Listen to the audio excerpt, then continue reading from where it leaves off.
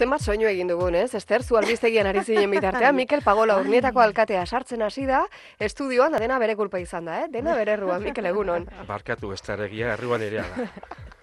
Ke ba, nik ere egin dut, Ez da zila mugitu, igoze, erorri zezkigu kaskoak, ez dugu, bueno, denetarik egin dugu.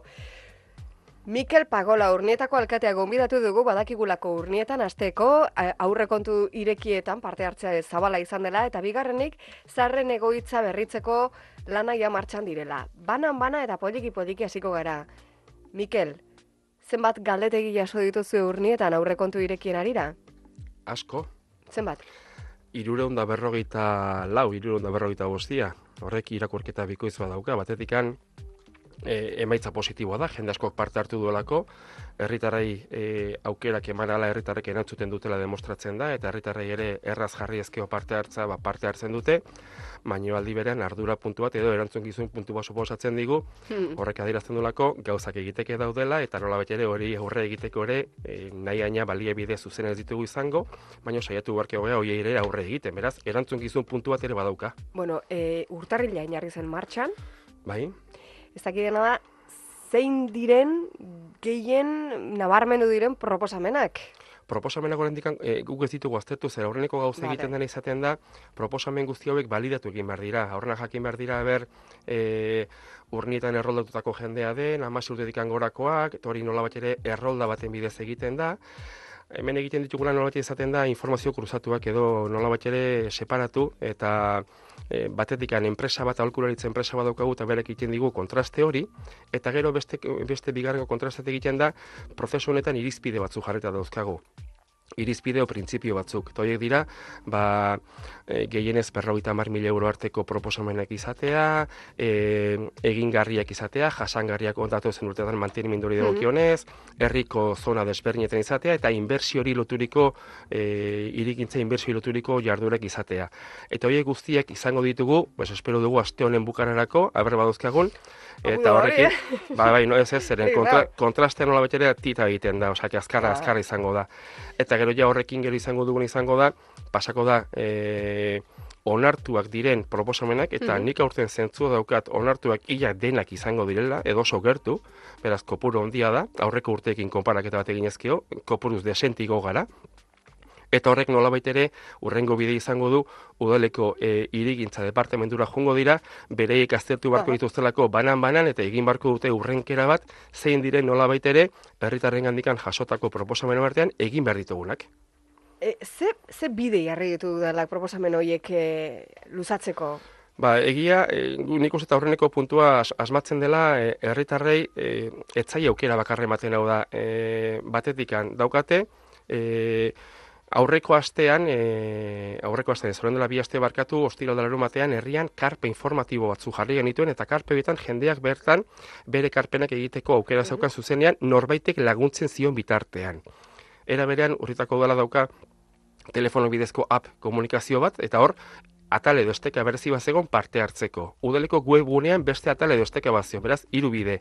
Eta gero, udal ereikin eta urnietako e, eraikin e, publiko guztietan ere postontzi batzu jarri izan dira, eta horretaz gain, amar, auz, e, amar auzotan e, buzoi batzuk txertatzen dira, buzoi grisiki batzu dira, eta buzoiek hor dagoen bitartean, herritarrek jadanikan badakite parte hartze prozesuren bat martxan dagoela. Ze hori izaten da nola bat ere bereien proposamenak analizatzeko bidea. Beraz, herritarrei beren etxetik analikita gertuen aukera eman bar zaie parte hartu ahal izateko aukerak emanez. Zuek ze balorazio, udalak ze balorazio egiten du, parte hartzea zabaldu, zabala izan dela esan dugu, gero eta parte hartzea handiko baldin badao, zuen irudituan zeren seinale da. E, Ze irakurketa egiten du udalak? Batetikan herritarren konpromisua, nola bat ere e, kopartizipazio, nola bat ere erantzunkidetasuneko erantzunkidetasun horretan da hori guztia oso ondo dagola ez da bakarrikan lau urtez behin hauteskundeak ematen direnean gure gure bozke ematen dugu eta gure parte hartzea horra mugatzen ez baizik eta aukera ematen zaigu bitartean herritarrek erakusten dute parte hartzeko gogoa badaukatela. Eta orduan zentzu horretan horrek ematen digu bide prozesu gehiagotan jarraitzea. Eta gure asma hori izango da, hain zuzen ere, prozesu hau amaitzen dugunean, espero dugu jadanikan amaitutzat ematea, ja, zen izango diren inkluso 2008an egingo diren e, obrak, edo eunda berroita mar mila hauekin, berroita mar mila euro bideratzen ditugu, Mhm. ze obra egingo ditugun, hori amaitu bezin pronto, urrengo fase bat, urrengo parte hartze fase bat ireki nahi dugu, eta aurten herritarrei aukera eman nahi diogu, aukeratzeko herrian dagoen beste demanda bati nola erantzun. Eta da, herrian parke edo zein plaza estaltzea nahiko luketen. Osa, que urten bigarren parte hartze bat egin behar duzu, beste, beste parte hartze bat proposatu behar duzu, eta Bai. hori da estaltzeanen ingurukoa, bale. Aurtengo izangoa, herritarrei emango zei aukera esateko zein parke edo zein plaza Estali. barko litzateken. Ondoren, aurten ere udalak egin barko luke plaza edo e, aukeratu izaten den plaza edo parke horren estaltzearen proiektua garatuko luke, Mhm. eta 2008 bateko aurrekontuan Vale. txertatu beharko litzateke partida espezifiko bat proiektu horri aurre egiteko. Hau da, parke edo plaza bat estaltzeko. E, e, dinamika zein izanen da? Parte hartze prozesu honetan? e, nola baitere baitere saietuko gea, herritarrei alik eta informazio gehien ematen, ikusi zein diran e, estali edo zein baldintzetan estali ditezkeen plazak. Ze plaza guztiek ere egoera berdinan ez dire egoten. Herritarrek proposamenak egiten aldituzte, baina gero e, proiektua edo behintzat e, garapena zun kontu. Bai, e, kontu. herritarrei emango zien aukera izango da, erabakitzea zein plaza edo zein parke estali. Gero ja teknikoki ikusi barko aztertu barko da, bakutzaren garapena ezberdina dalako. Batzuetan azpikaldean garajeak daude, bestetan ez, horrek azkenean estruktura diferenteak aguantatzeko aukera ematen du, orduan teknikoki aukerak desberdinak dira, segun eta herritarrek zein plaza edo, plaz, edo parke estaltzea erabakitzen duten. Jubilatuen egoitza hitz egin behar genuela aurreratu dut, saioa orain dela gutxi hasi dugu gaur, beranduago hasi dugulako, eta hori adierazi diot gure entzulei, gaur urnietan jubilatuen egoitza eraberritu behar dutela, zaritu behar ginela. Eraberritzeko lanak esleitu aldira. Bai, e, azkenean bi epetan, bi fasetan nola baitera adjudikatuko dira lanak, aurreneko adjudikatuko da. Lehena izango da, e, eraikinaren, dendaberri eraikinaren, bueno, dendaberri eraikinez, San Juan berrogitabi lokala, eta Bai. hor dago dendaberri jubilatuen elkartea, baina lokala berez da San Juan berrogitabi, ba, eraikin horren kanpokaldea, Mhm. kanpokaldean daude, ba, itxuteak, e, fugak, e, orduan, aldatu behar dugu guztia, kanpoko guztiari sate handi bat egingo zaio, nola baita tratamendu berezi bat eta bar, Fatxadan, orduan. fatxada osoari, eta baita ere, e, fatxadan dauden kristalera eta leio guztiak aldatuko ditugu. Beraz, obra handia da, eta horrek irureun irurogeita amabos mila euroko aurrekontu bat e, suposatuko digu. Hori da, otxailaren hogeita lautik aurrera hasiko den obra. Eta gero barnek aldegan zer eginen da?